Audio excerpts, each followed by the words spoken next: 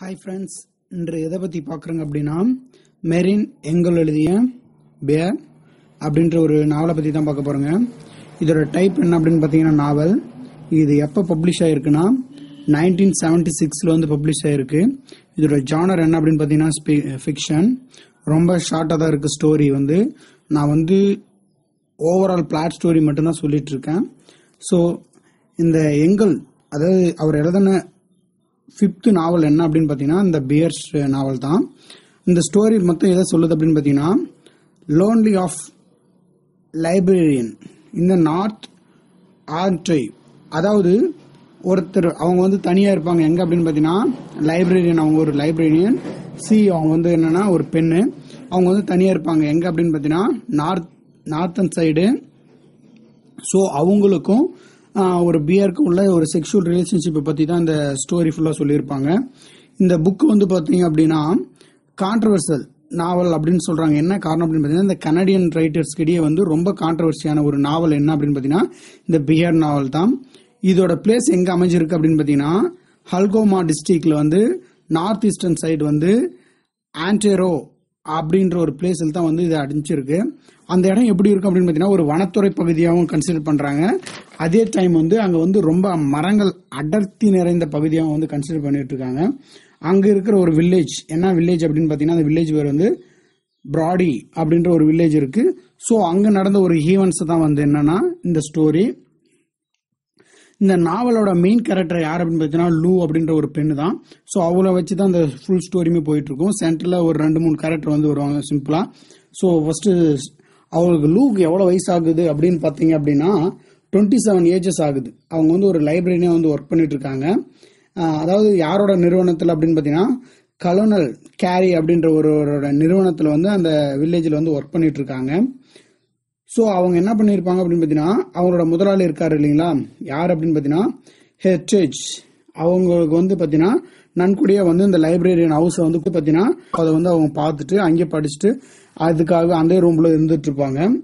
அங்க லூ அங்க இருக்கும்போது என்ன பண்ணுவான்னா ரொம்ப தனிமையாக இருக்கிறதுனால ஃபீல் பண்ணிட்டு இருப்பான் அது எங்க இருக்கு அப்படின்னு பார்த்தீங்கன்னா அந்த பிளேஸ் வந்து கேரி ஐஸ்லாண்ட் அப்படின்ற பிளேஸ்ல தான் வந்து அந்த ஹவுஸும் இருக்கு. அங்கதான் வந்து அவங்க வாழ்ந்துட்டு இருக்காங்க. அவங்க அந்த லூன்றவங்க எதை மட்டும் ஃபோக்கஸ் பண்ணிட்டு இருப்பாங்க அப்படின்னு பார்த்தீங்கன்னா ஒன்லி படிப்பு நூலகம் இதை மட்டும்தான் வந்து ஃபோக்கஸ் பண்ணிட்டு இருப்பாங்க. அப்படி இருக்கும்போது அவங்களோட உணர்ச்சிகள் எல்லாமே வந்து ரொம்ப கில்ட்டியா ஃபீல் பண்ண ஆரம்பிச்சிருவாங்க. என்னன்னா ஒரு பெண்மணி ஆனவள் வந்து ஒரு டுவெண்ட்டி செவன்ஸ் ஏஜ் சொல்லியும் எந்த ஒரு கல்யாணம் எதுவும் பண்ணாமல் இருந்தாங்கன்னா ஒரு உணர்ச்சி பூர்வமாக இருப்பாங்க இல்லையா? சேம் அதே மாதிரி அவங்களும் அப்படிதான் இருக்காங்க. ஸோ அவங்களோட உணர்ச்சிகளை வந்து சமநிலைப்படுத்துறதுக்காக ரொம்ப போராடிட்டு இருக்காங்க. சரிங்களா? அவங்க மெதுவா என்ன பண்றாங்க அப்படின்னு பாத்தீங்கன்னா அங்க ஒரு அனிமல்ஸ் இருக்கு. என்ன அனிமல்ஸ் அப்படின்னு பாத்தீங்கன்னா பியர் என்ற ஒரு அனிமல்ஸ் சரி ஓகே அவங்க அது பக்கத்துல என்ன பண்ணலாம் அப்படின்னு பாத்தீங்கன்னா ஓ மெதுவா நிறங்குறாங்க அதாவது என்னன்னா அதாவது விலங்கு கிட்ட எப்படி பழகுறதுன்னு சொல்லிட்டு பழக ஆரம்பிக்கிறாங்க. பழக ஆரம்பிச்சதுமே அந்த பியர் என்ன பண்றாங்க அப்படின்னு பாத்தீங்கன்னா அவங்க வந்து ஒரு பெட் அனிமலா வந்து அவங்களோட வீட்லயே வச்சுக்கிறாங்க. அதுக்கப்புறம் வந்து இவங்க சரி நம்ம இங்க வேண்டாம் நம்ம நகரத்தை நோக்கி போலாம் அப்படின்றதுனால அதுக்கு ஒரு பிளான் பண்ணி ஸ்டார்ட் பண்றாங்க. ஸோ அதற்கிடையில நம்ம லூ யார் கூட வந்து செக்ஷுவல் ரிலேஷன்ஷிப் வச்சுப்பாங்க அப்படின்னு பார்த்தீங்கன்னா அந்த எஸ்டேட்டோட கேட்டக்கர் அந்த எஸ்டேட்டை பார்த்துக்கிற ஒரு மனிதன் யார் அப்படின்னு பார்த்தீங்கன்னா ஹோமர் கம்பல் அப்படின்றவர் கூட என்ன பண்ணுவாங்க அப்படின்னு பார்த்தீங்கன்னா அந்த செக்ஷுவல் ரிலேஷன்ஷிப் வச்சுவாங்க. அவங்களுக்கு சொல்லியும் தருவாங்க என்ன அப்படின்னு பார்த்தீங்கன்னா ஒரு அனிமல்ஸ் கூட எப்படி பழகணும் அப்படின்ற விதத்தெல்லாம் வந்து இவங்க வந்து சொல்லி தருவாங்க. அதே மாதிரி அவங்களும் என்ன பண்ணுவாங்க அப்படின்னு பார்த்தீங்கன்னா அந்த நம்பிக்கை அந்த விலங்கு கிட்ட எப்படி அதுகிட்ட நம்பிக்கையை பெறது ஏன்னா ஒரு பாம்பு கிட்ட பழகுனா கூட அது நம்ம கிட்ட ஃபேவரா இருக்கணும். ஒரு மாடு கிட்ட பழகுனா கூட அதுக்கு முன்னாடி முட்டும்.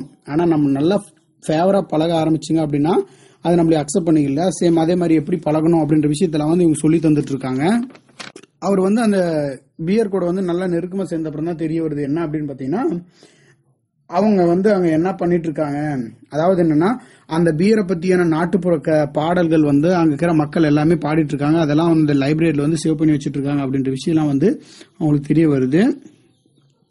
அதுக்கப்புறம் கரடி என்ன பண்ணுது அப்படின்னு பாத்தீங்கன்னா அதாவது என்னன்னா செக்ஷுவல் ரிலேஷன்ஷிப்ல இருக்கு. யார் கூட அப்படின்னு பாத்தீங்கன்னா நம்ம லூலு லூ கூட. ஸோ அந்த லூ என்ன பண்ணிட்டு இருக்கா அப்படின்னு பாத்தீங்கன்னா வேலையை தான் வேலை முடிஞ்சது அப்படின்னு சொல்லிட்டு கிளம்பலாம் அப்படின்னு சொல்லிட்டு திங்க் பண்ணிட்டு இருக்கான் ஆனா அந்த பியர் என்ன பண்ணல அப்படின்னு பாத்தீங்கன்னா அந்த இடத்த விட்டு அனுப்பல. சோ அவளோட முதுகுல என்ன பண்ணிட்டு இருக்கு அப்படின்னு பாத்தீங்கன்னா கீறிட்டு இருக்கு உக்காந்துட்டு. ஸோ அவளுடைய வேலை முடிஞ்ச அப்புறம் தான் அவ போகணும் அப்படின்ற மாதிரி வந்து அது பண்ணிட்டு இருக்கு ஸோ ஃபைனலாக என்ன பண்ணுது அப்படின்னு பார்த்தீங்கன்னா ஓகே நம்மளுக்கு வந்து வேற பிணைப்பு தான் வேணும். இது நம்மளுக்கு தேவையில்லை அப்படின்றதுனால என்ன பண்ணுதுன்னா ஸோ அவளை வந்து அங்கிருந்து அனுப்பிடுது ஸோ அவ்வளோதான் அந்த ஸ்டோரி ச- இது வந்து என்ன அப்படின்னு பார்த்தீங்கன்னா ஷார்ட்டாக இருக்கிற பிளாட் சம்மரி மட்டும்தான். ஸோ வேறு சில நாவல் ஸ்டோரி ஷார்ட் ஸ்டோரிஸ் எதனா வேணும் அப்படின்னா கீழே கமெண்ட் பண்ணுங்க. டிரான்ஸ்லேஷன் ஹாய் ஃப்ரெண்ட்ஸ் இன்று எதை பற்றி பார்க்குறோங்க அப்படின்னா மெரின் எங்கள் எழுதிய